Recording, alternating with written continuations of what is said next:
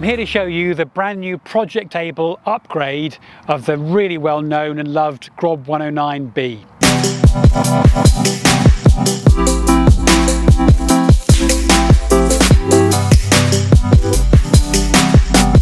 So let me just show you around.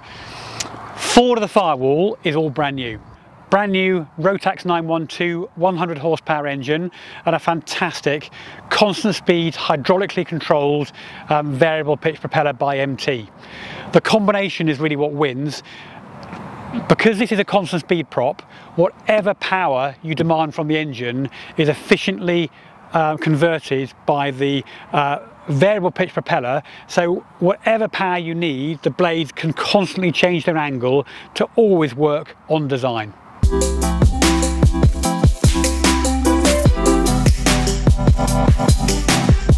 to show you an in-flight shutdown. First thing I'm going to do is take the alternator off and the load.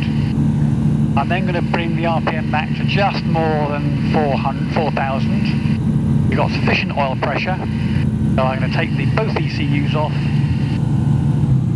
and instantly go to fully feather the engine with a prop If you look at the blades, you can see them driving there to feather to improve our glide. And take both fuel pumps off now. Narrow glider. Let's restart the engine now. So I'm going to pre-arm the both channels of the ECU, put one uh, fuel pump on. We need to drive the blades to full fine you can see the anti-feather accumulator has driven to full fine. Now I need to tie the battery back to the engine control management system with this switch. When the lights have gone out, I can start the engine.